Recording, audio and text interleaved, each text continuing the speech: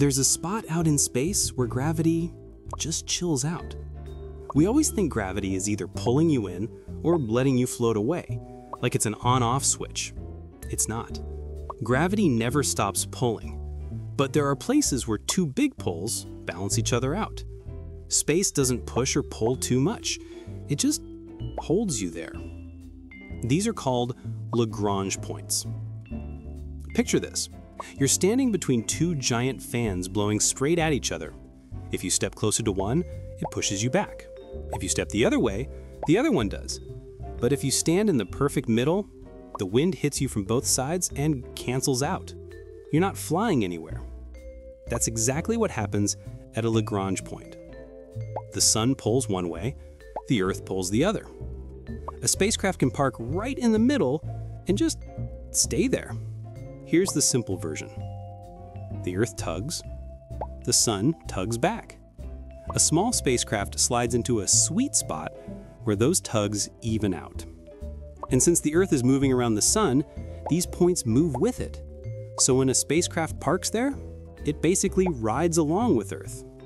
There are five of these parking spots. Scientists call them L1 to L5.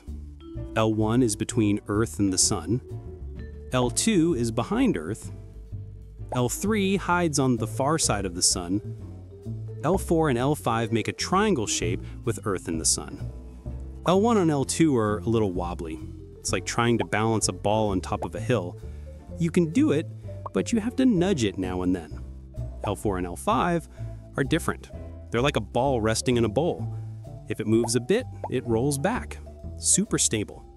Spacecraft love these spots because they save fuel and give great views.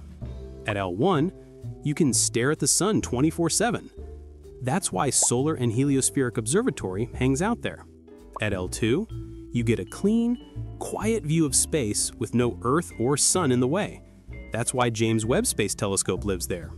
L4 and L5 are empty for now, but they'd make solid future parking spots for stations or depots. Because these points balance things out, a spacecraft doesn't need to fire engines all the time. It's like parking your car on level ground instead of a hill. Less effort, less fuel.